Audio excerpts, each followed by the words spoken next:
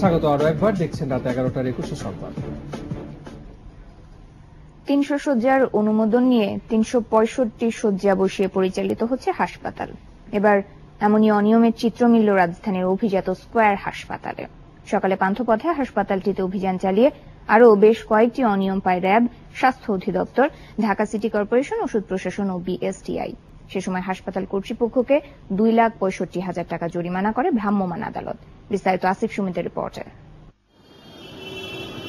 রাজধানীর পান্থপথে স্কয়ার হাসপাতালে র্যাবের ভ্রাম্যমাণ আদালতের অভিযান। এমন সংবাদ সংগ্রহে গেলে অভিযানের সঙ্গে যেতে বাধা দেওয়া হয় সংবাদকর্মীদের।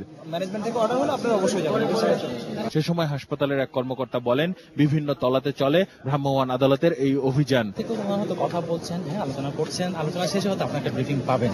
প্রায় তিন ঘণ্টা ব্যাপী অভিযান শেষে স্বাস্থ্য অধিদপ্তরের কর্মকর্তা বলেন অনুমোদনের বেশি শয্যা রয়েছে হাসপাতালটিতে। যে বেড ওনাদের লাইসেন্স দেওয়া আছে তার থেকে কিছু বেড ওনারা অপারেট করতেছেন। গভর্নমেন্ট থেকে যেটা চাচ্ছি সবার জন্যই মিনিমাম প্রাইসে ম্যাক্সিমাম ট্রিটমেন্ট কীভাবে আমরা পৌঁছাতে পারি। এছাড়াও হাসপাতালটির মেডিকেল ডিভাইস ও সার্জিক্যাল অপারেটরের নেই ডিআর লাইসেন্স। আর মেয়াদ উত্তীর্ণ লাইসেন্স দিয়েই চলছে ব্লাড ব্যাংক ও ডায়াগনস্টিক সেন্টার। হাসপাতালটির ফুড কোডেও রয়েছে অনিয়ম। আপনি জানেন যে স্কোয়ার একটা ব্র্যান্ড তাই না? এখন ওনারা বুঝবেন যে ব্র্যান্ডের জন্য এটা কতটুকু হলো। তবে আমাদের যে অবজারভেশন জনগণের প্রত্যাশা অনুযায়ী আশা করছি যে মানে প্রতিষ্ঠানের স্কোয়ার যথাযথ কার্যক্রম নিবে যাতে করে আমরা আর কোনো ফল্ট কিংবা যারা আসে তারা কোনো ফল্ট না পায়। মোট পাঁচ ধরনের অনিয়মে হাসপাতাল প্রশাসনকে দুই লাখ পঁয়ষট্টি হাজার টাকা জরিমানা করে ভ্রাম্যমাণ আদালত। মোট পাঁচ ধরনের অনিয়মের জন্য সর্বমোট দুই লক্ষ পঁয়ষট্টি হাজার টাকা জরিমানা করা হয়েছে স্কোয়ারের। চুক্তি অনুযায়ী পাঁচ শতাংশ বেড ফ্রি দেওয়ার কথা থাকলেও তার কোনো রেকর্ড নেই বলে জানান এই নির্বাহী magistrate.